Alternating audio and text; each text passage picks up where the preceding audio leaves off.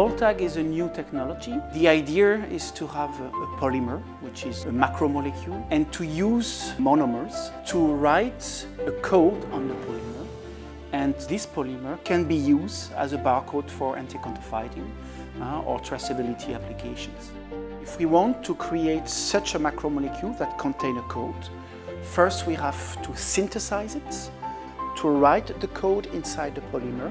And this is one of the innovation of POLTAG that we found a very easy procedure which can be automatized on the robot that permit to write a code. And second part of our technology is to extract this code with a tool that is called mass spectrometry. And typically we can read the information from the polymer in a few milliseconds, which is very useful for the technology.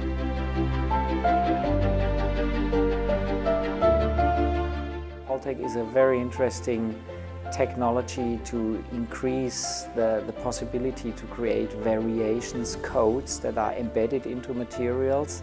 It can be very likely better solved in solvents, in, in, liquids and possibly also in materials than our marker materials. It's a good um, addition to our portfolio of technologies um, so we can offer to the market and to our customers uh, a more complete product portfolio. We can put this polymer in very small quantity in the material to be labeled, typically around a ppm. So of course this is a very small trace of this barcode, which make it not expensive eh, and very hidden in the, in the host material. The barcodes are resistant to almost 250 degrees. They are resistant to UV, to acids, to base, to oxidation. And so therefore uh, we can imagine to uh, use these polymers in many, many processing and applications. Advantages of the technology is the possibility of generating a multitude of codes. Potentially also cost is simply more economic than to create the same portfolio of codes with another method. This is really very interesting. I think it can be a game changer, yes.